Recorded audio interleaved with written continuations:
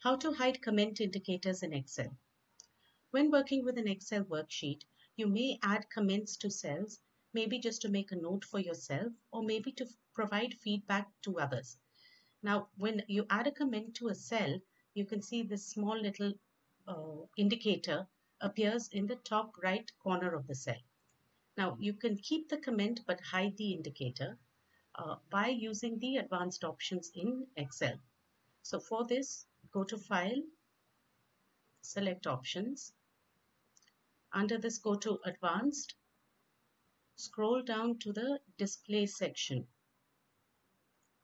So here you have the Display uh, section that has the settings for display. Here you have three options for the cells with comments. Now I am going to select no comments at all and say OK.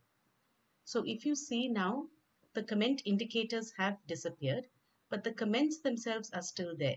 So you can see that by clicking on comments or going to review and saying show comments.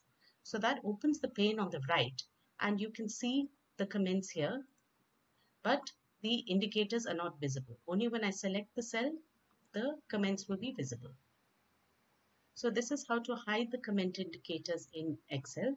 Uh, one more thing is that you must remember that whatever changes you make to the Excel options, uh, these will be applicable to all workbooks and not just to the current worksheet. So please read the appended article for more information.